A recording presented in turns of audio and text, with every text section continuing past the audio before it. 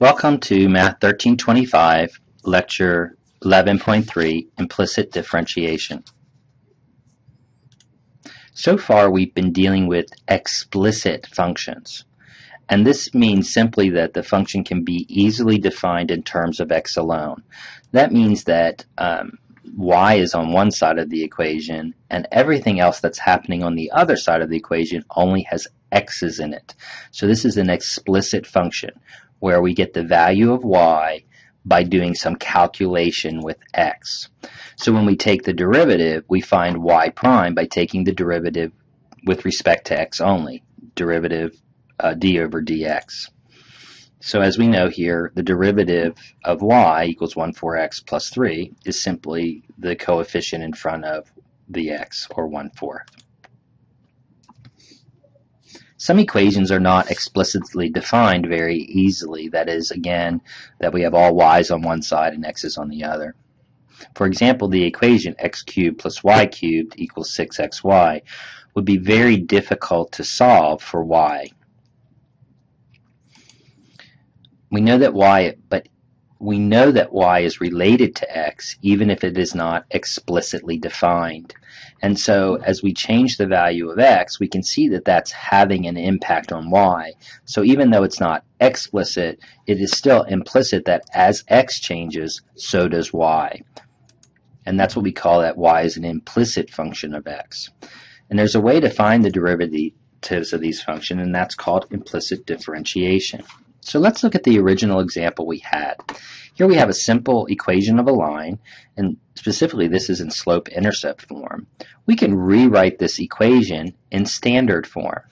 And this is where the x and the y are on one side and the constant is on the other. Now, we're going to apply some algebraic techniques to this equation in that we're going to apply, we're going to take the derivative with respect to x on both sides. So we're going to take the derivative of the left side and it's going to equal the derivative of the right side. Since we know y is a function of x, we're going to use the chain rule, which means that y is on the outside and then the derivative of y itself. That's the concept. So we're going to take the, when we take the derivative of a difference, um, we take the derivative of the first minus the derivative of the second, which is what we have here. Now notice what we have is that what we're going to do is we're going to take the derivative of y with respect to y, and then take the derivative of y sort of conceptually with respect to x. And this is what we're actually looking for, the derivative of y with respect to x.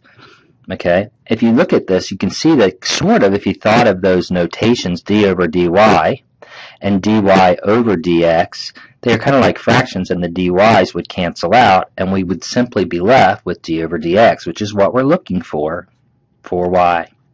So the derivative of x is simply 1 minus 4. The derivative of y with respect to y, just like with the derivative of x with respect to x, we just think of this as if it was an x, and it's also 1. And then we have this derivative that we're trying to find. We're going to use the notation y prime because it makes it a little bit easier to see. And so if we rewrite this, 1 minus 4 dy dx, this equals oh, 1 minus, sorry, what we've done here is a couple things. I don't know why the y prime is gone. Um, these are both the same thing. So if I add 4 dy dx to both sides, I get 1 equals 4 dy dx.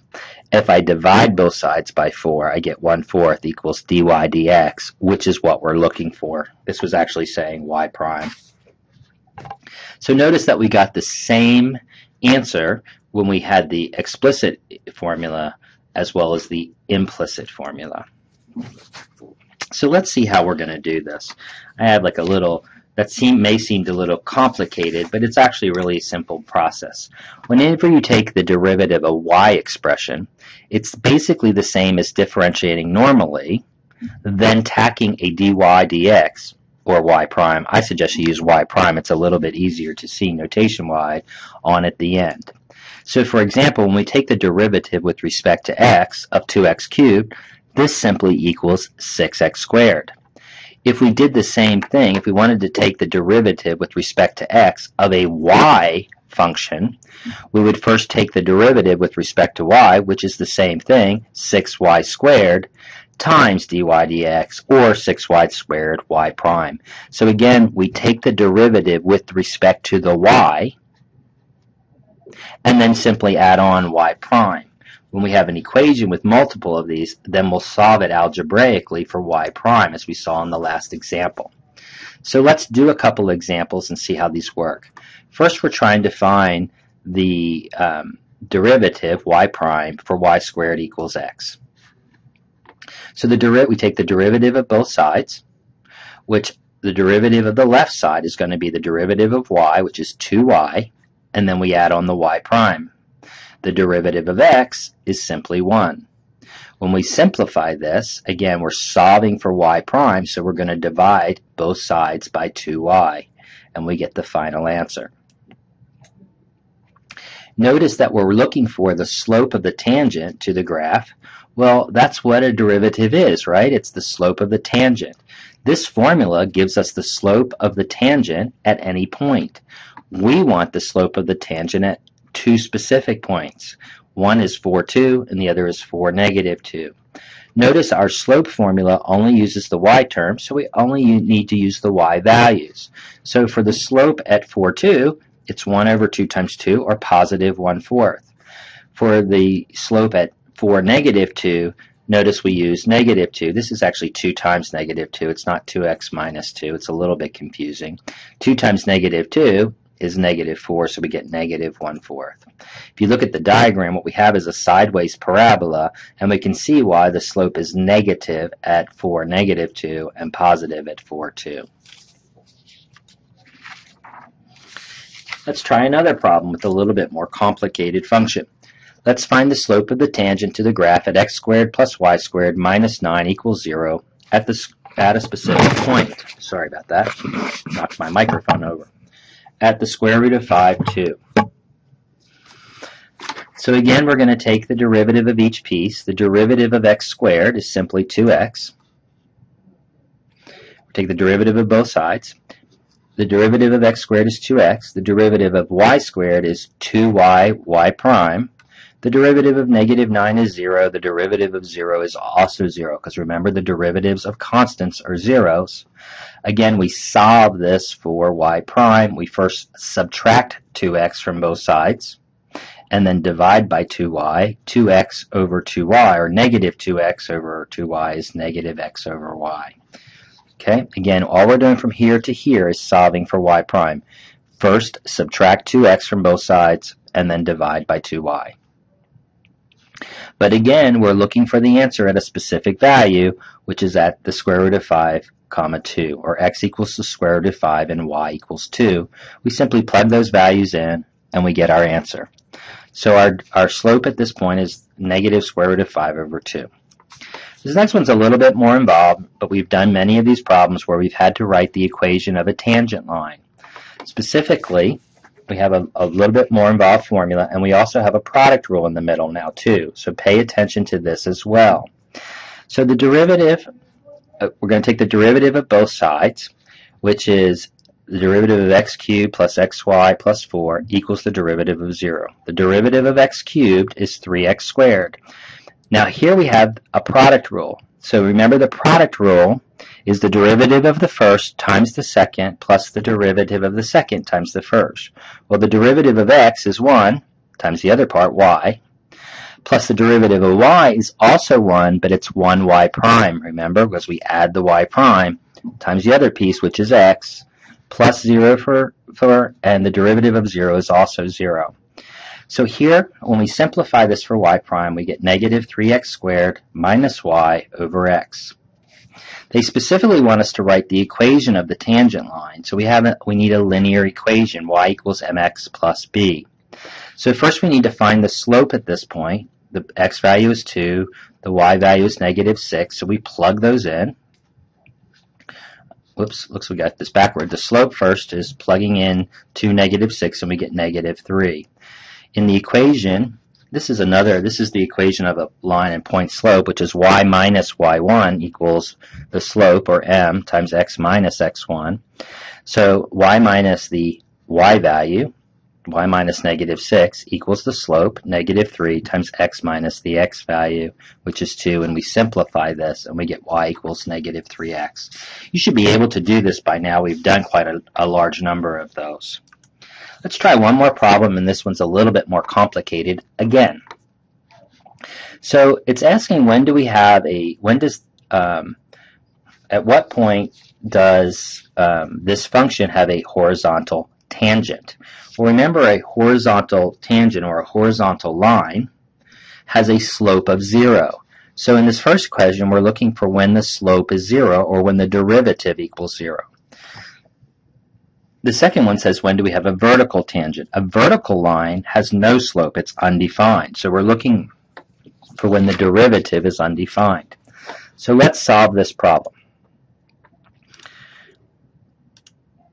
We take the derivative of both sides, x squared plus 4y squared minus 2x plus 4y minus 2 equals the derivative of 0. The derivative of x squared is 2x. The derivative of 4y squared is 8y y prime. Don't forget the y prime. The derivative of negative 2x is simply negative 2, and the derivative of 4y is 4y prime. Again, don't forget the y prime. This is 0, this is 0, and so we have our equation here. To solve this, let's get everything that doesn't have a y prime on the other side. So we add 2 and we subtract 2x. Notice now we have two terms with y prime in them. We can factor that out. So we get 2y prime equals 4y plus 2. We've also factored out a 2 because we saw that there's a 2 on both sides. So now I can divide both sides by 2, which cancels out the 2's. And I can then divide both sides by the other term, 4y plus 2, and I get my derivative. Notice that my derivative, or my equation for a slope, is equal to a rational expression. When will a fraction be equal to 0? Well, a fraction will be equal to 0 when the numerator is 0. So all I have to do here is set my numerator equal to 0 and solve. 1 minus x equals 0 and that gives me x equals 1. If I plug this back into the original equation, not my derivative, my original equation, and then solve for y, notice I get a quadratic equation, which I can then factor, or I could use the quadratic formula, and I get two y values, y equals 1 half, or y equals negative 3 halves. So I actually have two points where I have horizontal tangent lines.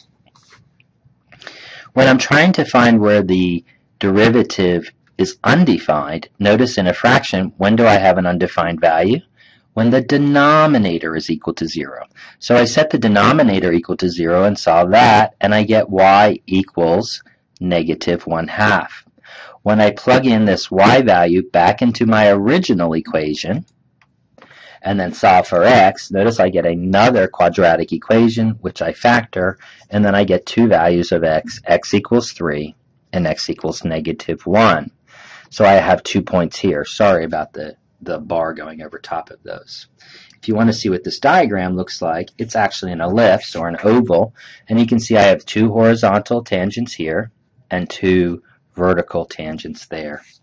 Hopefully this has helped you uh, understand implicit differentiation.